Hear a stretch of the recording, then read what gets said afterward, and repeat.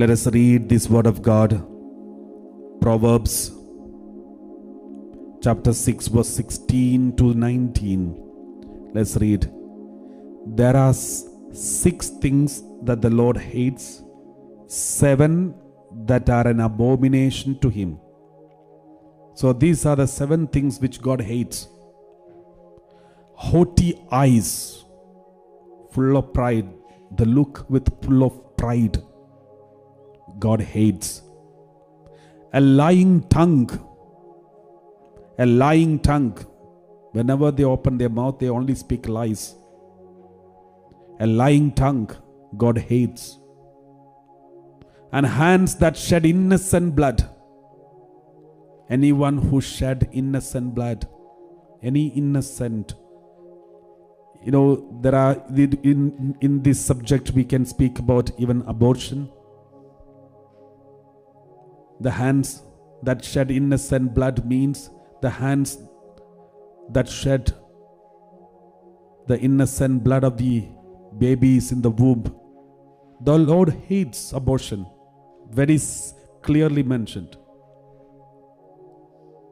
And also accusing others, hurting others, destroying the lives of others.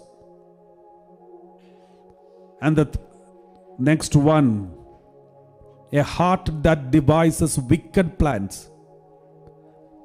Wicked plans means cheating others, abusing others, to destroy others. All those who plan, the heart that devises wicked plans to cheat our own siblings, fighting with them, police case, court case against our own siblings for the property, ancestral property, and many other things, filing unnecessary cases against husband, wife, and saying lies in the court.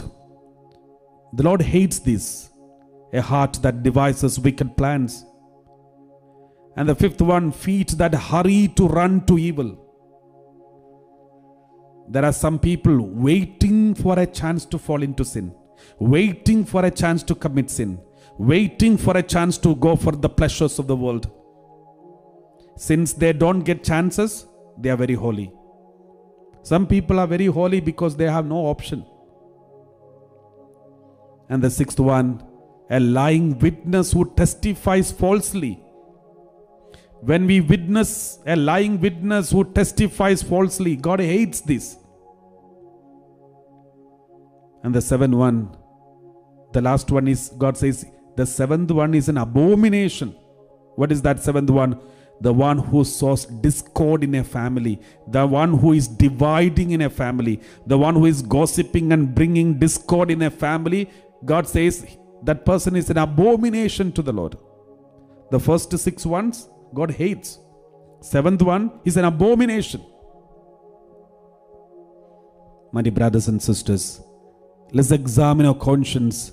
Do we have any of these things? Then remember, if we have one of these, that means some we have something which God hates. We are carrying something in our heart which God hates. We are having, we are possessing something which God hates. Let's repent of all these and say, Lord, I'm sorry.